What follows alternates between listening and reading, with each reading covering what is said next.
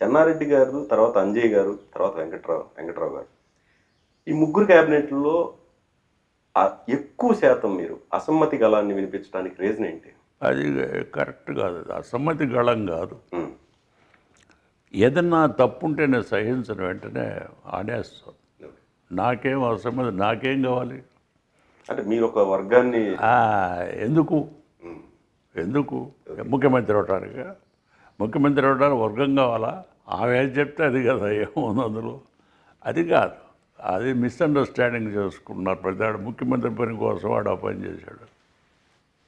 కానే అది నన్ను అడ్డం పెట్టారే కానీ అసలు ఈ ఆంధ్ర రాష్ట్రంలో కాంగ్రెస్ పాడవడానికి నరసింహారావు. ఆయనకేంటంటే ముఖ్యమంత్రి పోయింది ఆ ముఖ్యమంత్రి కావాలని ఆయన కోరిక.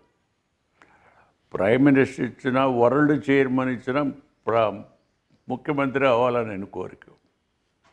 దానికోసం విపరీతమైన ప్రయత్నాలు చేసి అసమ్మతి ఆయన క్రియేట్ చేశాడు. ఆమెకి చెన్నారెడ్డికి మధ్య తగులు. అట్లా పెట్టుకుంటూ వచ్చాడు. కానీ అప్పట్లో మీ పైన మటుకి అసమ్మతి వర్గాన్ని క్రియేట్ చేయడంలో మీరు మీ పైన వచ్చాయి. నా దగ్గర ఎక్కువ మనుషులు వచ్చేవాడు ఓకే. ఎక్కువ ఎమ్మెల్యేలు నా దగ్గర ఉండేవాళ్ళు. పనులు చేసి పెట్టేవాడిని ఎప్పుడంతా కలిసి కలిసి భోజనం చేసేవాళ్ళం. నాలుగు కబుర్లు చెప్పి అది ఎక్కువ నా నా అట్రాక్షన్కి నా దగ్గరికి వచ్చేవాడు. దానికి అసమ్మతి అసమ్మతి ఏం లేదు. నేనేమి చెన్నారెడ్డి గారి మీద జెండా లేపలేదే. లేపింది నరసింహారావు.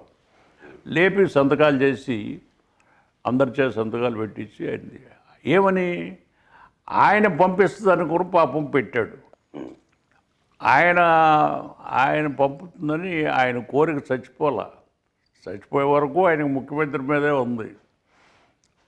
అయితే మరి ఆమెమో ఇతను పంపకూడదు.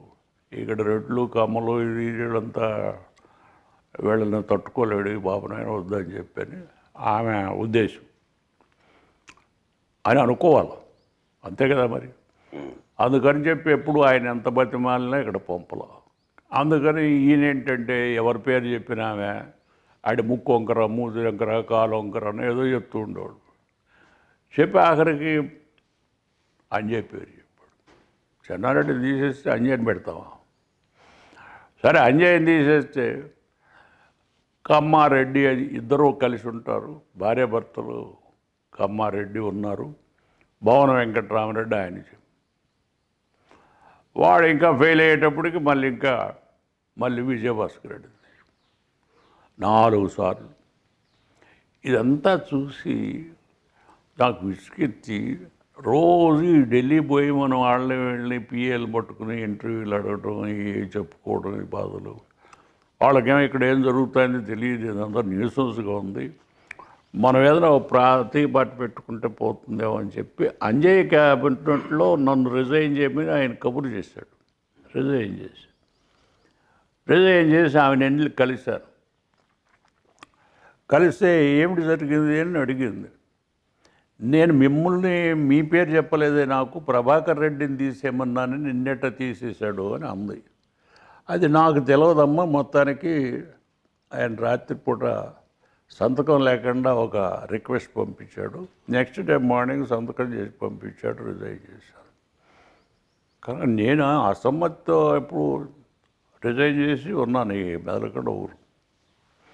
మన ప్రెస్ వాళ్ళంతా వచ్చి ఎందుకు age is on your side ఊరినే అనవసరంగా టైం అంతా వేస్ట్ చేసుకుంటావు? కమౌట్ అని చెప్పి నన్ను స్పిరిటెడ్గా ఒక అప్పీల్ చేశారు. అంటే ఒకటి సార్ ఆ టైంలో మీరు ఇందిరాగాంధీ గారి దగ్గర మీ బలాన్ని నిరూపించుకునే ప్రయత్నాలు ఏం జరగలేదండి నెప్పుడు నెప్పుడు. నెవర్ నెవర్ ఏని ఎవరో మిస్లీడ్ చేసి నెవర్ ఆమె అడగలేదు నేను చేయలేదు ఆ పని. ఆమె ఎప్పుడు ఆమెనే షీ యూస్ లైక్ మీ అంతేగాని బాగా చేస్తున్నాడు బాగా వర్క్ చేస్తున్నాడు. అంతేగాని వేరే విధంగా. అయితే చెన్నారెడ్డి గారిని నన్ను విడగొట్టాలని ఆమె ఉద్దేశమేమో మా ఇంటికి వచ్చింది ఆమె. నేను చెన్నారెడ్డి గారి క్యాబినెట్లో మినిస్టర్ని మా ఇంటికి వచ్చింది. ఏదో వాష్ చేసుకోవడానికనే ఏదో వంక పెట్టి మా ఇంటికి వచ్చి మా ఇంటికి వచ్చి మా ఇంట్లో కూర్చో. చీఫ్ మినిస్టర్లు మినిస్టర్లు అంతా బయట కూర్చునే. కనుక ఏమనుకుంటారు? ప్రెస్ వాళ్ళు చూసిన వాళ్ళు నెక్స్ట్ రైజింగ్ స్టార్ వీడేనని చెప్పి అనుకుంటారు కదా. అలా కథలు సృష్టించారు కానీ నేనేమి అసమ్మతి లీడర్షిప్ రాజారాం గారు ఆధ్వర్యం వహించాడు అసమ్మతికి. ఎవరి తరఫున?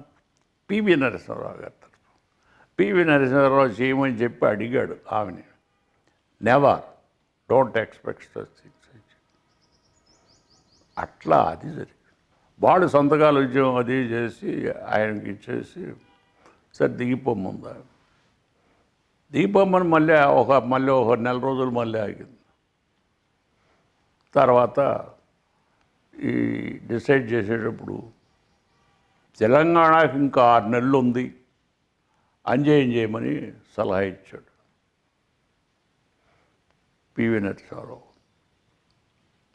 సరే అంజని పెట్టమని పెట్టారు. This is how it's